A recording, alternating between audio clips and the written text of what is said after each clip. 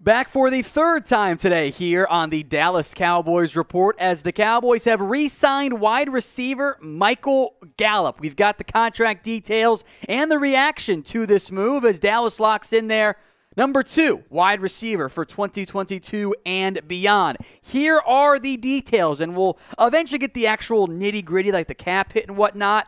But it's a five year, $62.5 million deal that includes 27 million guaranteed. For those of you not great at math, that is 12.5 million per year for Michael Gallup. We will spend the entire video, of course, breaking down this particular move, but this keeps Michael Gallup in tow with Dak Prescott, CeeDee Lamb for the next couple of years after the team moved on from Amari Cooper earlier this weekend. The move comes, of course, on the eve of NFL free agency and the legal tampering period. So give me your one word reaction to Gallup re-signing with the Dallas Cowboys? Is it is it overpay? Wow, underpay, deal, steal, whatever it is. Let me know what your one word is in the comments right now.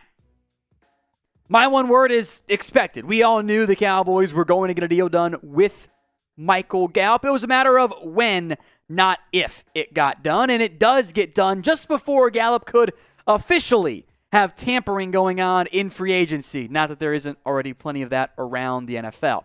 I do want to make note of this. The cap hit for Michael Gallup will not be 12.5 million in 2022. Frankly, it could be more like 6 million or so. We don't have the structure how much of the guaranteed is a signing bonus, etc. It's probably got an out after year 2 or year 3 might be a little bit closer to year three from a practical standpoint on that front. But the cap hit will be lower than the 12.5 million. You save 16 with Amari Cooper. You might be spending six of that or so. That's just a rough guess at this point on Gallup this season. The hope, of course, is that Gallup looks more like 2019 Gallup moving forward. Uh, 2021, injured, banged up, tore that ACL late in the season, and the Cowboys are hopeful but they do not know for certain if he is going to be able to play week one of the 2022 campaign. 2020's numbers did dip compared to 2019 in large part because, well, his quarterback wasn't out there. Gallup and that red zone fade has worked pretty well. I bet that offensive play call comes back a little bit more heavily. He will remain on the outside. You assume CeeDee Lamb is on the outside as well, but maybe you draft a different player, keep Lamb in the slot. We'll see what happens as the offseason moves on. But the Cowboys are paying the market rate for a free agent receiver who probably would have gotten more on the open market. So grade the move for me. A, B, C, D, or F. How you feeling about this one? I'll make this the pinned comment on today's video. So if the ad break comes, take advantage of it. Head down there and drop a grade for me. As mentioned, the Cowboys guaranteed Gallup $27 million. Now that's not a ton. And think about it from this perspective.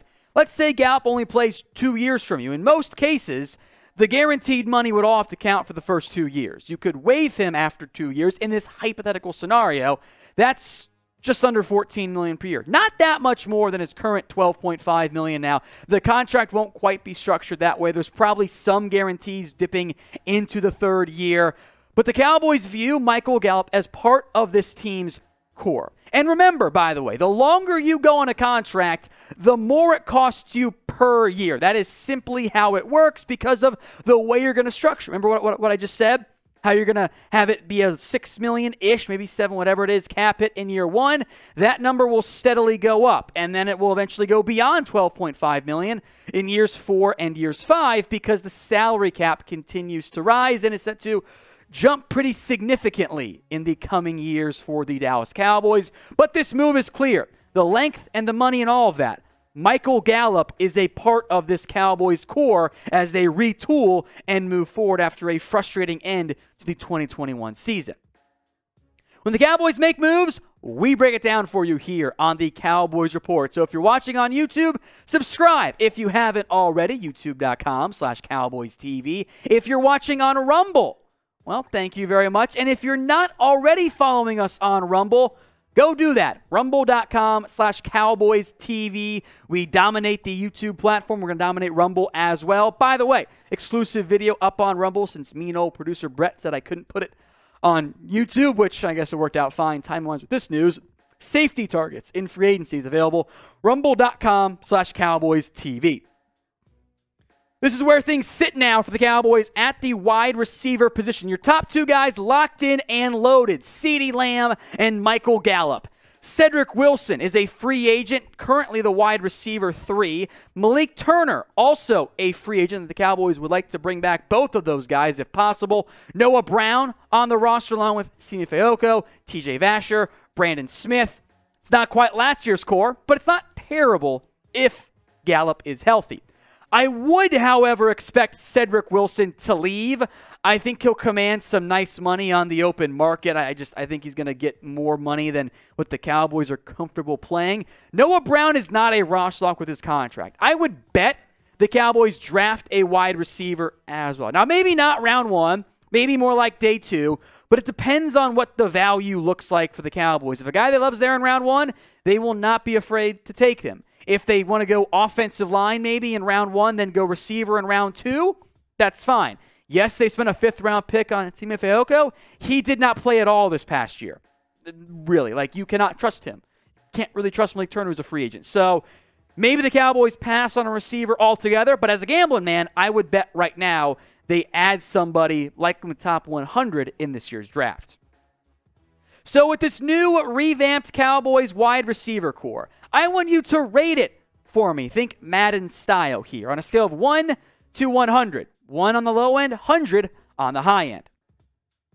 The goal, of course, here with Michael Gallup is to get him healthy and make him a key part of this Cowboys offense. Lamb and Gallup, the Cowboys' hope as an organization, are the future pieces at wide receiver. Young, and they can complement each other pretty well as they've done so in the past.